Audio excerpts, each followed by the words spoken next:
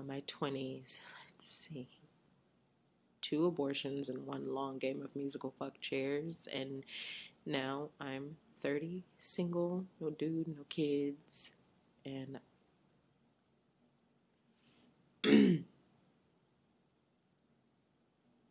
I just lost my best friend in the whole world because I fucked her old man.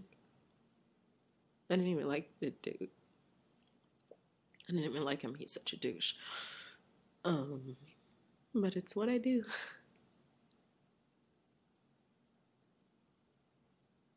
There's got to be another way.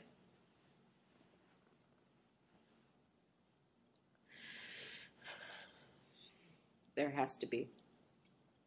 I'm going to fucking kill myself. So, that's it.